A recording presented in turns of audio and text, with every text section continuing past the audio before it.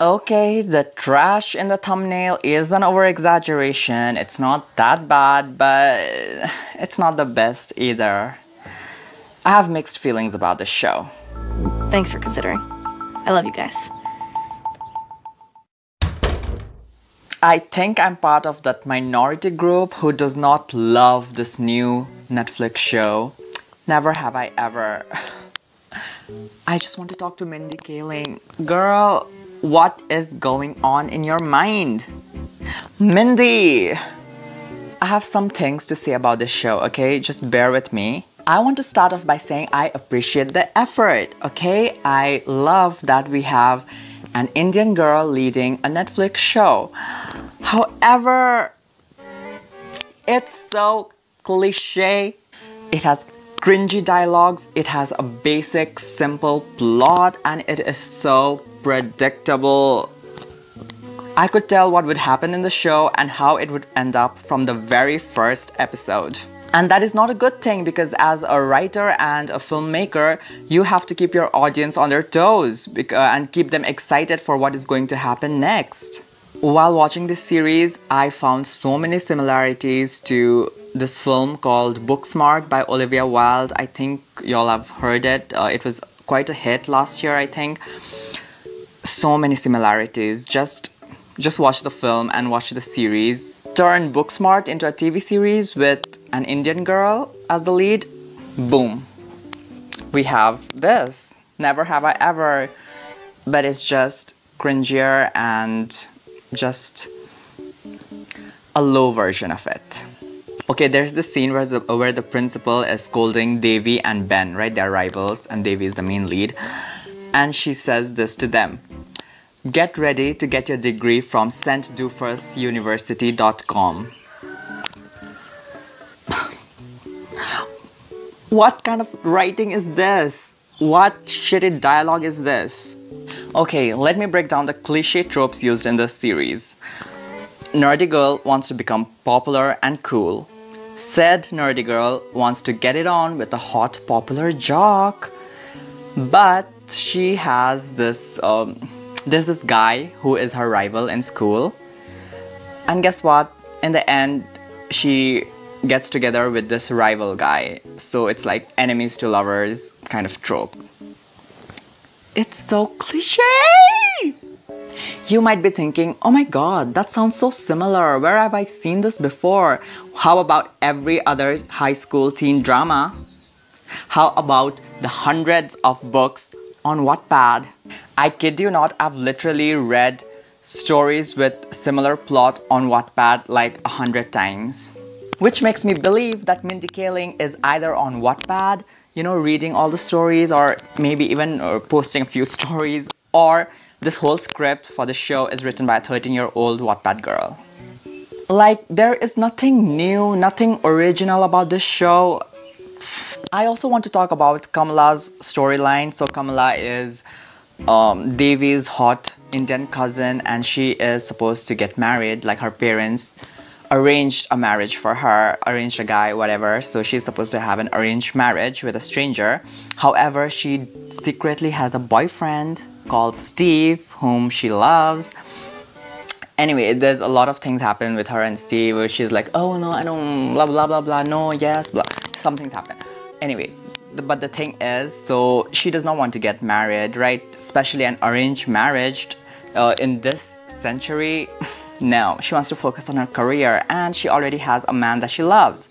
So she just wants to meet the guy, but you know, she does not actually say yes to the arranged marriage or whatever. But guess what? The door opens and she sees the guy that she's uh, supposed to get married to, and he is this hot Indian hunk. And there's a certain attraction between them there's a certain connection between them and you know things happen. I want i'm trying not to give too much away.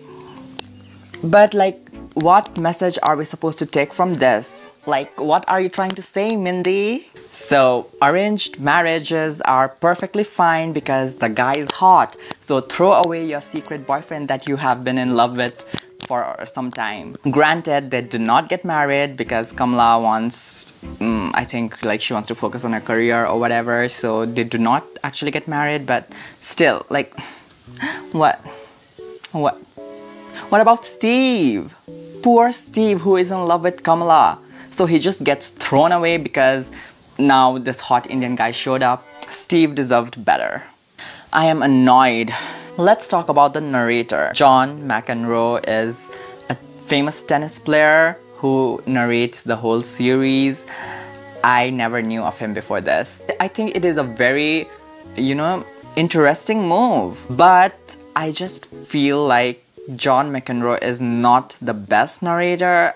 Sometimes his tones, his inflection, it just didn't match the energy of the series. He was just it felt like he was reading a book or something. Like he was just droning on and on and it just felt like he was pretending to be interested in the story. Andy Samberg made a surprise audio cameo, I guess, as the narrator in episode 6, which was honestly the best episode. Now, this episode focuses on Ben. Remember Ben, the white guy, the rival, you know, who is, uh, who is Devi's rival in school.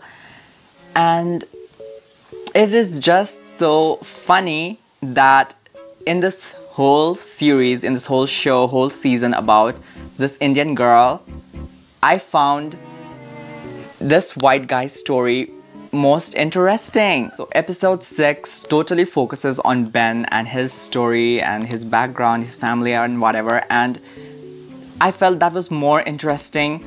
You know, as a viewer, I was more interested in him than I was in Devi's story. Now, there are a few redeeming qualities in the show let's talk about them. I thought the main lead, the main actress, Maitreyi uh, Ramakrishnan did a wonderful job. I think she is a really nice find. She is talented and she did a good job portraying Devi, the main uh, character, however annoying she may be. Good job. Her best friends, the actresses who played her best friends, um, they need some work. There were a few funny scenes where I genuinely laughed, so I think that's great. For example, the coyote scene, the whole coyote thing, I, I thought that was funny. And I think the main strength of the show lies mainly in its diverse ca uh, cast. It was really great to see so many people of color on screen. And there's also a character slash act uh, actor with a Down syndrome, so that's great. And you know, Paxton, the hot popular jock that Devi likes, he is not your typical jock. We kind of get a little bit of um, a little peek into his life you know into his thoughts into his family and everything. So i thought that was uh, wonderful that he is not just some disposable character but actually someone who is important in Devi's life and uh, to the show's plot as well. So i wouldn't call this show bad. I mean it's it's an enjoyable watch but it's just disappointing. I was just kind of disappointed by the show. I mean, in an age where we have shows like uh, Euphoria, Sex Education, On My Block, and so many other shows, uh, Never Have I Ever just comes across as meh. I feel like this show belongs in 2014 Disney Channel. The makers of this show said that they were inspired by Riverdale. that makes a lot of sense. So, Mindy Kaling, I really want to support your show, but you just need to think a little bit different, a little bit more original, and get off Wattpad.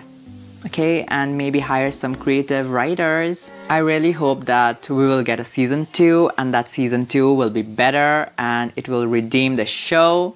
I kind of wish Devi goes to India and, you know, experiences a lot of struggles and a lot of interesting things but who am I? So keep that in mind, Mindy. That's all. Now I know it got a lot of good reviews and many people, most people loved this show, so don't come for me, girl. This is my opinion. But yeah, but if you have watched this show, I would love to hear what you thought about it and whether you have anything to say regarding my views so why don't you comment that down below? I would love to see them. But that's all I have to say about the show for now. So thank you so much for watching. If you liked my video, make sure to like, comment, share and subscribe. Stay safe, stay healthy and I will see you next time. Bye.